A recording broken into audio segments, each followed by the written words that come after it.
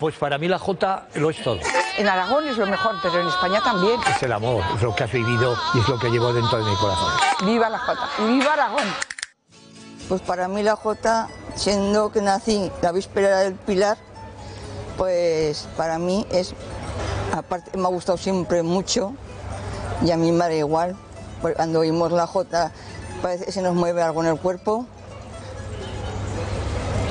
Para mí tenía ese patrimonio de España, por lo menos.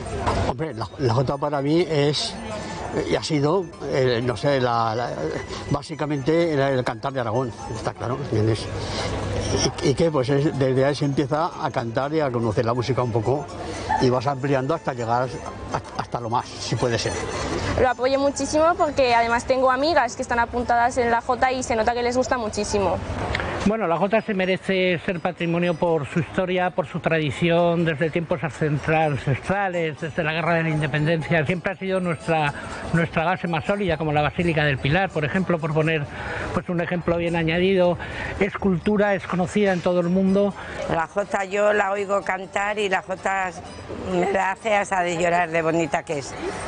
Yo cuando yo soy de Madrid y cuando está en Madrid y la he oído, es ahora que estoy hablando de ella y se me ponen los pelos de punta. Me hace mucha ilusión la Jota y yo creo que a todo el mundo le gusta. Bueno, yo pienso que la Jota ya no es que tendría que estar en lo más alto, sino que tendría que, que pertenecer al patrimonio histórico de la humanidad, porque es parte de nosotros, ¿no? Desde hace muchísimos años y al final es tradición y cultura. La llevamos con nosotros. Bueno, a mí me parece que es una, eh, una actividad que tenemos en Aragón y habría que seguirla potenciando. Eh, sobre todo para las personas mayores, hablo del campo de las residencias, eh, cuando había grupos y se podían, podían intervenir ellos, era la mayor alegría que podía tener un residente en una residencia. y sobre todo ese espíritu, repito, de independencia, de libertad, de bravura.